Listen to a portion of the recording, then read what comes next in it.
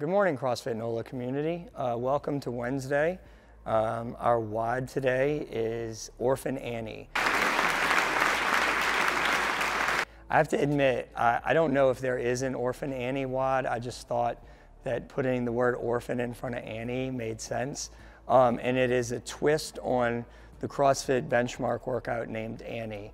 And we'll get to it in a second, but there's a movement added to the traditional Annie um, couplet.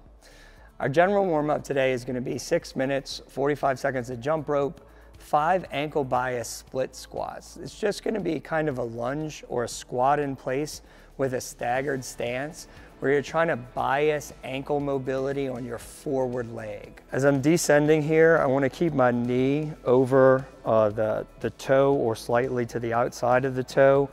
I'm gonna push forward, creating a sharper angle in my ankle and I'm gonna push forward as far as I can until I feel my heel start to come off the ground. So I don't want the heel to come off. I wanna keep the heel loaded, but I wanna push the knee as far forward, keeping it in that good position in line with the foot, stretching out the ankle and then driving up through the heel to stand.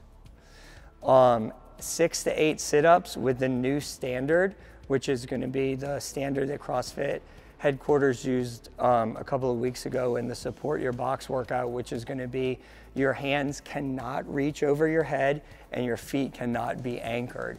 You can do either one of those things to scale an RX sit up. Um, and then we'll do 10 leg swings in each direction. Uh, we have some skill development today for the pistol. The pistol is gonna be the new movement that's included in the uh, spin off of Annie. Um, so our pistol development today will just be three parts. We'll go through them two times. We'll do five narrowing stance squats, starting from a traditional squat stance and ending up with your feet together.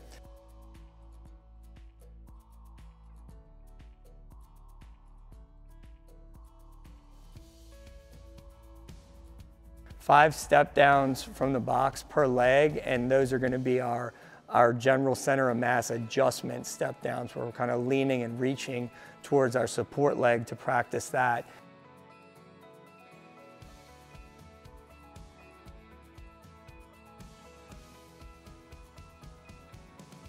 and then six to eight deck squats. If you've mastered the deck squat and you're working on your single leg deck squats, you can practice single leg deck squats there.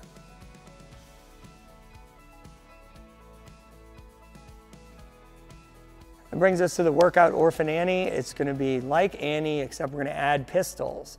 Annie has a descending rep scheme, so for fun, we're gonna ascend the reps of the pistols. So you'll do 50 double unders, 50 sit-ups, and then four pistols.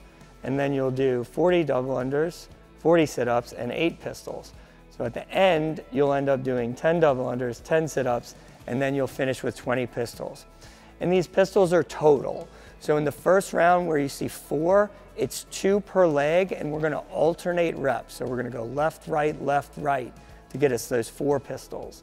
And then when we go to eight, we'll go left, right, left, right, left, right, left, right, I think. Razzle dazzle. Uh, to get to eight. But the point is that we're gonna alternate those, uh, those movements there. Um, one of the things that's gonna happen here is the hip flexors are gonna get kind of burnt from the sit up.